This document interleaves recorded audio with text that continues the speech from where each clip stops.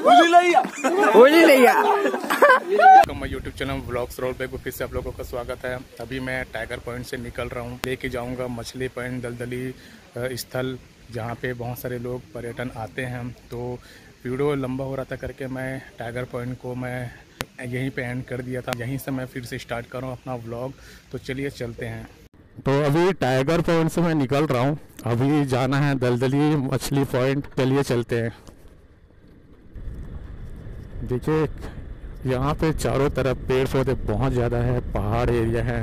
तो मैं यही बोलूँगा आप लोगों को, जितना जल्दी सबेरे हो सकता है, आप आइए यहाँ मेन पार्ट में। बहुत सारे, यहाँ पे पॉइंट है, जो मैं एक करके आप लोगों को घूम घूम के दिखला रहा हूँ। ये सारे पॉइंट आप इजीली घूम सकते हो शाम तक। एक दिन में आप इजीली कवर कर सकते हो। जैसे कि आप अपने बाइक से आना चाहते हो तो बाइक से आ सकते हो, या फिर कार से आना चाहते हो तो कार से आ सकते हो। यहाँ पे बस चलती है, लेकिन बस का टाइमिंग मुझे नहीं पता तो मैं तो यही सजेशन दूँगा बाइक या फिर कार से ही यहाँ पे आइए। क्योंकि ये जो यहाँ पे बहुत सारे ऐसे ऐसे पॉइंट है जो बहुत दूर दूर में, जैसे कि 10 किलोमीटर, कोई 24 किलोमीटर, कोई 13 किलोमीटर ऐसे ऐसे दूर में तो आप पैदल यहाँ पे सफ़र नहीं कर पाओगे।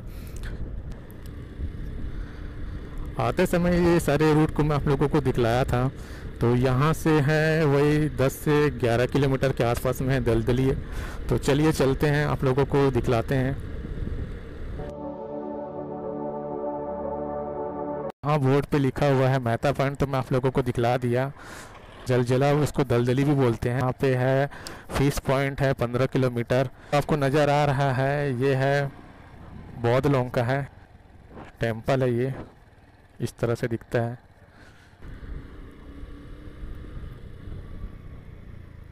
तो जाते समय मैं यहीं से गुजर के गया था, लेकिन रोड में मैं शायद ध्यान नहीं दिया होगा, नहीं तो पहले उसी को कवर करता मैं। चलिए कोई बात नहीं, अभी कर लेते हैं। तो यहाँ से मैं जो गया था सवेरे ये वाली रोड से गया था। फिर पॉइंट जाने के लिए आपको ये वाला रोड इस्तेमाल करना पड़ेगा, यानी कि फिर से रिटर्न आप लोगों को आना होगा और ये वाली रोड पकड़नी है। तो यहाँ भी बहुत ज़्यादा खूबसूरत सा जगह है। फ़िश पॉइंट जाने के लिए। अभी सब आ रहे हैं। दोपहर का टाइम हो चुका है ऑलमोस्ट एक बज के बाईस मिनट हो गए हैं। सुबह मैं साढ़े आठ बजे से निकला था इस चीज़ को कवर करने के लिए, लेकिन बहुत दूर दूर में करके टाइम इजीली ऐसे ही लग गया है। तो यहाँ भी दो रास्ते हैं तो आपको सीधा वाला रास्ता पकड़ना है फ़िश पॉइंट के लिए। ये वाली रोड को नहीं पकड़ना है। चलिए, बढ़ते हैं आगे। देखिए, इस तरह से पहाड़ों पे पूरा बना हुआ है रोड, जो कि बहुत ज़्यादा खूबसूरत लगेगा आप लोगों को। जब यहाँ आओगे, विज़िट करोगे, ये भी फ़िश पॉइंट भी पहाड़ के ऊपर ही लग रहा है। घुमावदार रोड है, इस तरह से। बहुत दूर दूर से यहाँ पर्यटन आते हैं, इस चीज़ को देखने के लिए। ये कुदरत का करिश्मा है ये। तो जिसे हम दलदली बोलते थे, वो उसका नाम जल जली उछली पलती ज़मीन। यहाँ से तीन किलोमीटर अंदर है। मछली पॉइंट जो है, आप लोगों को सीधा चलना है। तो पहले यही देख लेते हैं जल जली देख लेते हैं। ज़्यादा ही खतरनाक है ये रोड। ये है बुद्ध। भगवान का टेंपल इस तरह से दिख रहा है। इसको भी आप लोगों को मैं दिखला देता हूँ अंदर से। आई होप कि ये खुला हो। तो ये खुला हुआ है तो चलिए अंदर चलते हैं और आप लोगों को दर्शन कराते हैं। अभी यहाँ पे कोई नहीं है, सिवाय में ये क्या खूबसूरत सा टेंपल बना हुआ है। अभी काम चल ही रहा है। अभी रुकने का साधन है। तो बहुत अच्छा लग रहा है यहाँ आके। चलिए आगे और देखते हैं। तो ये खूबसूरत सा मंदिर देखिए खुला था है। आप लोगों को मैं दर्शन कराता हूँ बौद्ध भगवान का। क्या खूबसूरत सा बना हुआ है। इस तरह से दिखते हैं बौद्ध भगवान जी। बेहतरीन। अभी कोई नहीं है। यहाँ पे बच्चे लोग हैं जो यहाँ पे रहते हैं, पढ़ाई करते हैं। पूरा मंदिर आप लोगों को मैं घूम के दिखला देता हूँ। इस तरह से नज़ारा है। ऊपर में आप देखिए, कितना सुंदर बना हुआ है।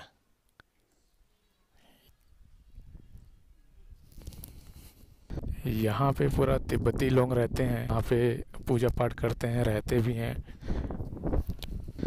ये सुंदर सा मंदिर बना हुआ है बाहर में भी। क्या खूबसूरत सा दृश्य है। बहुत यूनिक ढंग से बनाया है। शायद उन लोग का मंदिर ऐसे ही होता है। तो मैं एक राउंड को वहाँ के आप लोगों को दिखला देता हूँ। हाथी भी बना हुआ है।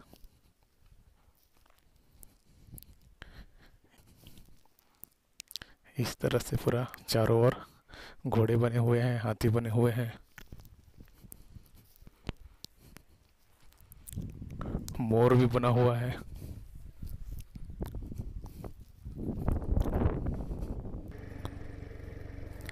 चलिए, तिब्बती मंदिर आप लोगों को मैं दिखला दिया। इस साइड में आया था कि जलजली दलजली जो बोलते हैं वो होगा, लेकिन इस साइड नहीं है, उस साइड में ही है, जहाँ पे मैं चौक में खड़े होकर आप लोगों को दिखला रहा था। उस साइड से लेफ़्ट मुड़ना है, जहाँ तक तो आसपास के लोग से एक बार पूछ लेता हूँ, नहीं तो कंफ्यूज हो जाऊँगा मैं खुद, ताकि आप लोगों को सही जानकारी दे पाऊँ। जल जल ये उछलती ज़मीन तीन किलोमीटर लिखा हुआ है, कितना किलोमीटर? ये सीधा रोड पकड़ना है। किस बोर्ड में तीन किलोमीटर लिखा था तो मैं वहाँ चले गया। हालाँकि वहाँ पे मुझे तिब्बती मंदिर मिल गया, वो अच्छी बात है, लेकिन थोड़ा और आगे निकल गया था कि मैं चलो आगे होगा करके, लेकिन नहीं, वहाँ के लोगों से, गाँव वाले से पूछा तो बोलता इस साइड नहीं है उस साइड में मैं कंफ्यूज इसलिए हो गया था कि दो रास्ते थे वहाँ पे, मैं आपको दिखलाया मोड़ पे। तो शायद इस साइड जाना है कि सीधा जाना है, वो समझ में नहीं आ रहा था। अब भी जब आते हो तो अगर मेरा वीडियो देखते हो तो आपको कोई कन्फ्यूज़न नहीं होने वाला है, क्योंकि मैं पूरा आप लोगों को डिटेल में बतलाते हुए चल रहा हूँ। तो चलिए, देखते हैं कितना किलोमीटर लगता है हम लोगों को वहाँ तक पहुँचने के लिए। मछली पॉइंट है कि नहीं है फ़िश पॉइंट जिसको बोलते हैं, वो भी अगर मिल जाता तो बहुत अच्छा हो जाता। तो जिस रूट को मैं आपको बतलाया था, वो रूट आपको सीधा आना है तीन, साढ़े तीन किलोमीटर के आसपास में है, ठीक है? कहीं भी आपको मोड़ मिलता है तो कहीं भी मोड़ना नहीं है। पीछे में दो दो रास्ते और कटे हुए मिलेंगे, लेकिन आपको सीधा सीधा इसी रोड को पकड़े रहना है रोड को छोड़ना नहीं है। तो चलिए देखते हैं।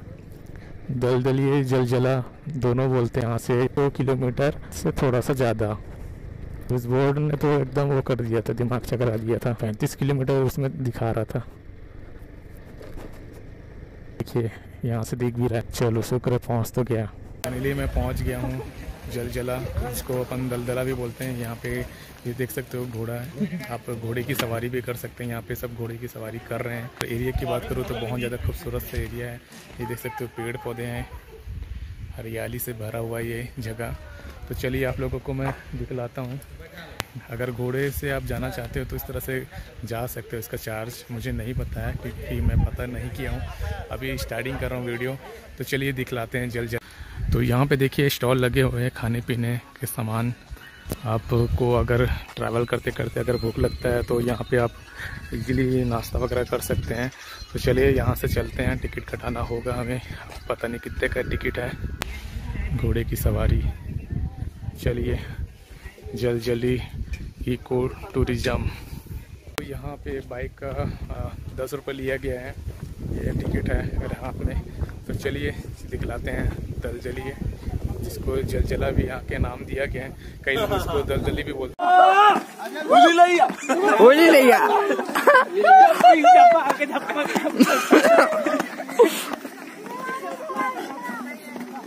बाबू आजा।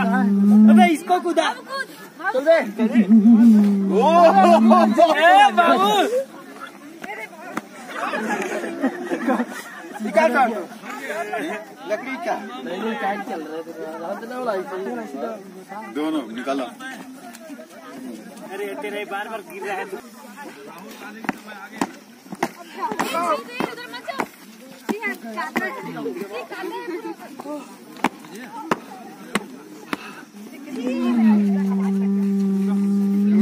बना सकते